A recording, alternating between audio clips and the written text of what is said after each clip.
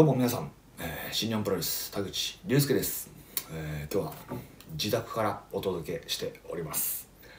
えー私が選ぶベストフィニッシュ、えーということで私が選んだのは2017年5月17日ベスト・オブ・ザ・スーパージュニア公式戦金丸義信戦です。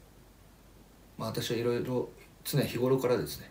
えーいろんな動きだったりアイデアだったり、えーねえー考えているわけですけれども、えーそんな中のですね、え34年ですかね温めていた、え動き、まあ、こういう場面になったらこういう動きができるかなというですね、まあ、なかなかね試合の中でそういう場面が現れるということはないんですけれどもまさにこのたまたまですね、えそういう場面が訪れたと、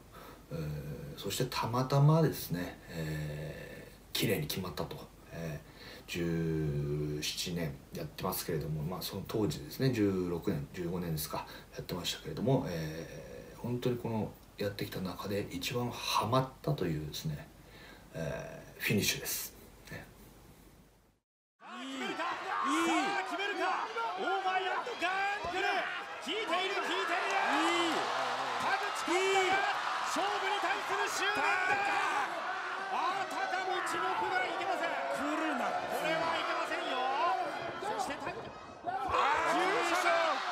田口監督の急所が。ああ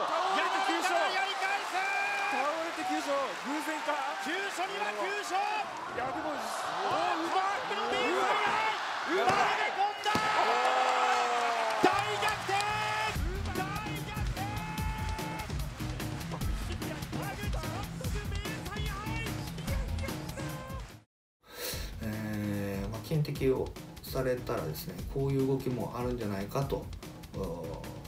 温めていた、えーちょっと何年か寝かせていたですね。動き、えーそういったものはですね、えー見事に決まったと、えなんですかね。私の、えもう痛快でしたし私のファンの方もですね、えー見てて気持ちよかったんじゃないかと。また私のファンでない方もですね田口なかなか面白いことをするなとこうまあですねうならせるようなですねフィニッシュだったんじゃないかなと思います。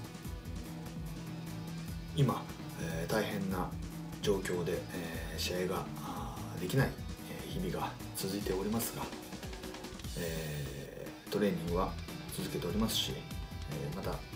いろいろな試合のアイデア動きのアイデア、えーこういったものがですね、どんどん蓄積されてる状態ですので試合が再開されればですねより良いすごい試合これを皆様に、えお見せすることができると思っております、えーま、この間にですね、えなかなかこう回復しなかった怪我をしてたところなんかもですね、え治っておりますので、え全選手がですねいいコンディションで、え再びプロレスに、え取り組めると。思います。その日を皆様ぜひ楽しみに待っていてください。ご覧いただきありがとうございました。